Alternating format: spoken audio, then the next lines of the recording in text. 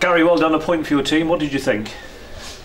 Very tough. I thought that uh, beforehand tonight that you know you can look at the league table and the league table don't lie. We know that in respect of that Kidderminster um, are sitting in an area of the league which has surprised a lot of people.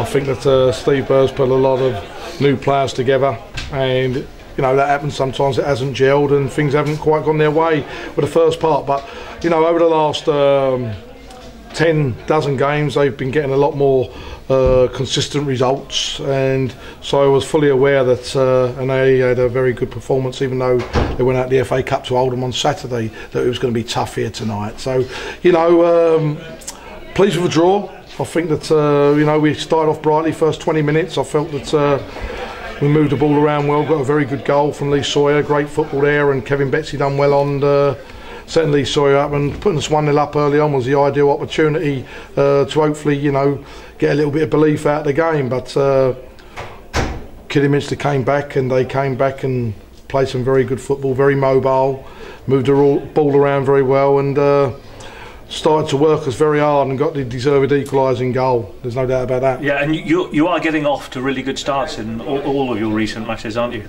We have certainly lately. There's no doubt about that. Like you know, you look at the way at Newport, and then you look at the uh, uh, game on Saturday and tonight. So that's encouraging. That's encouraging. But you know, um, they they put us under more pressure, and um, you know, they scored on the stroke of half time, and you know, they were 2 1 to the good at half time, but I think that what we mustn't miss out of the first half is the, the crucial point in the first half is the penalty save from Aaron Howe. I think that if we'd found ourselves uh, in a position there of three goals to one down, it would have been very, very hard to come back. And you'll probably want to mention the save that he made towards the end as well. He's, he's demonstrating what a good young keeper he is, isn't he? Very much so. He's a top goalkeeper. There's no doubt about that. And as I say, there's been times not only this evening and. Uh, other games this season that he's he's kept us in the game really well because I think that you know finding ourselves two one down at half time we had something to work on and hopefully uh, get a little bit of belief in the change room and ask questions of players really to show a bit of character. You've said that 50 points you hope will um, do the business for you, keep you up. So give us a little assessment. Where are you now on the road to your, your 50 points? Oh, well, we what we got we got I think we got 23 now from 18 games. So you know we're just under halfway.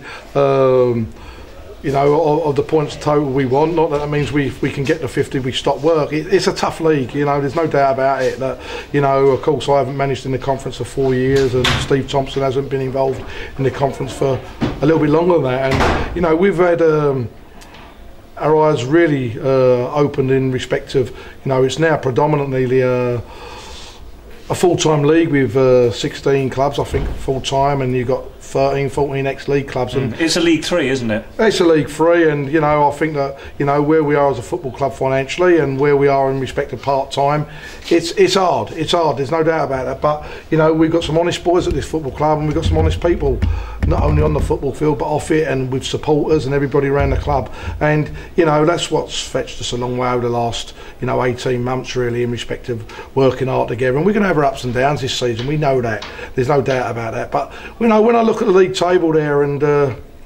see where we're sitting at the moment, even though it's very, very tight, to be sitting halfway in the league uh, with so many full time clubs and ex football league clubs around us and below us.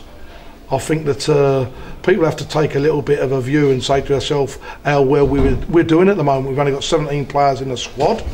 Uh, there's no secret about that. Um, in the squad. We, we're, in a, we're in a situation where, you know, we can't compete against other clubs financially, but what we have got is a lot of honesty, and that's important. Very well done. Thanks for talking to us. Thank you.